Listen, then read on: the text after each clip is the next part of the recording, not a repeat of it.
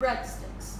For this, we will be needing one cup of boiled potatoes, which we will be mashing soon, one cup of breadcrumbs, I'm using homemade, two tablespoons of corn flour, half teaspoon of garlic, one teaspoon of salt, half teaspoon of black pepper, and one teaspoon of oregano. I'm gonna start by taking one potato and I'm going to be mashing this.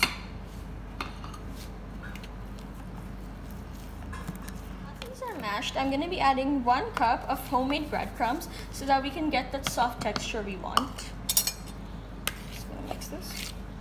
Okay. So when that's roughly mixed, I'm going to add in one tablespoon of corn flour.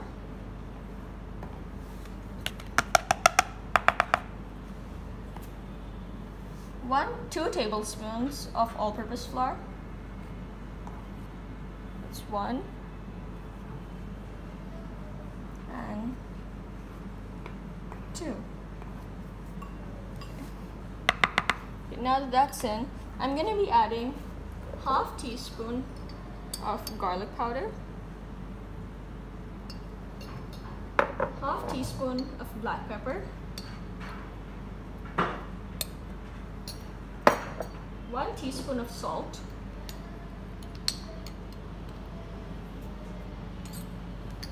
and 1 teaspoon of oregano.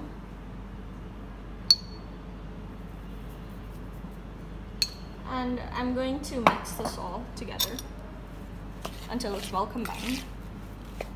Now this is well mixed, I'm going to take some oil and just lightly put some on my hands so that the batter doesn't stick to our hands. Okay.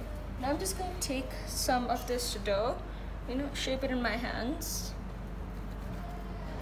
into this nice rectangular shape.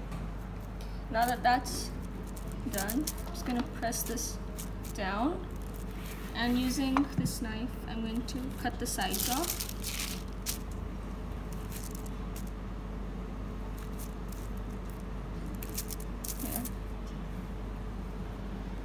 Now that this is done, I'm gonna do this with the rest of my mixture and I'll see when they're done. There you have it. Your donut, breadstick, nuggets, and cheese stick are ready. And they look awesome, but we can't eat them now because iftari hasn't happened yet. And if you guys like this recipe, tell me in the comments down below and give this video a big thumbs up. Please like, subscribe, and share my videos. Bye!